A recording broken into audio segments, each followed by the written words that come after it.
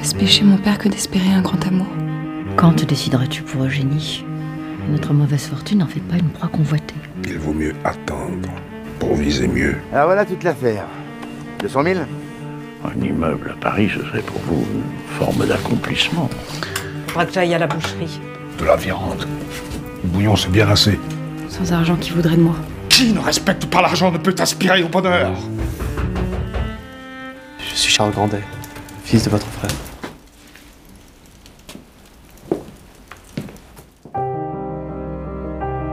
Si vous le souhaitez, cet après-midi, je vous emmènerai voir le pays. Volontiers. Vous n'avez jamais quitté ces lieux?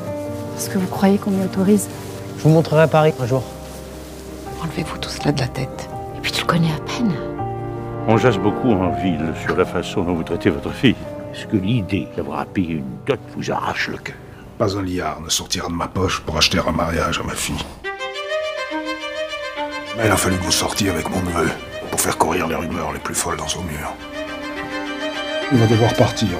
Tu ne le verras plus jamais. Je reviendrai pour t'emmener, je te le jure.